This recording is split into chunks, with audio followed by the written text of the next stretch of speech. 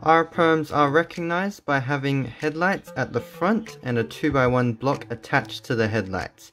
In this case, it is attached on the left hand side, which means that this is an RB perm. Similarly, the 2x1 bar can be on the right hand side. This case, it's an RA perm. So for the RB perm, the most common algorithm that people use goes like this.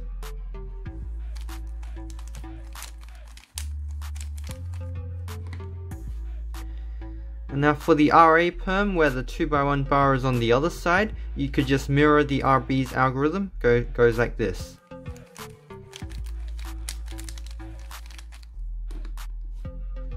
However, if you don't like using your left hand for the algorithms, you could do this algorithm by putting the headlights on the left hand side for the RA perm. Goes like this.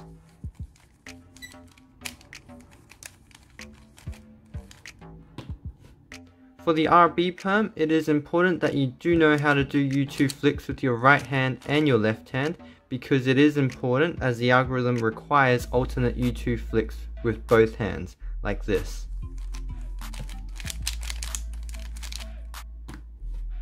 And for the RA perm, it is also important to know how to do D and D prime pushes uh, with your ring finger. And so in the algorithm, it goes like this.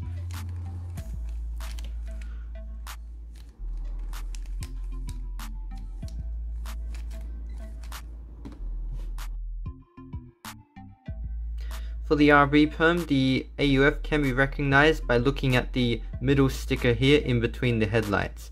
Uh, this sticker represents the color that will be at the front after you do the algorithm. Uh, being a red sticker here, which means red is going to be at the front afterwards, which means I'll have to do a U prime to align red to its correct side, like this. There's red at the front, add a U prime to finish AUF. The AUF for the RA perm is slightly more difficult to recognize. Uh, something to know about this algorithm is that this corner does not move during the algorithm uh, without the AUF. So this sticker here, red sticker, will represent the color that will be at the front after the algorithm. So um, after this algorithm, I'll also have to do a U prime to align red to its correct side. Goes like this.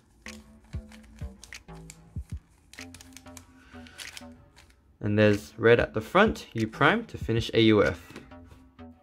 Thanks for watching, hope you learned something, see you next time.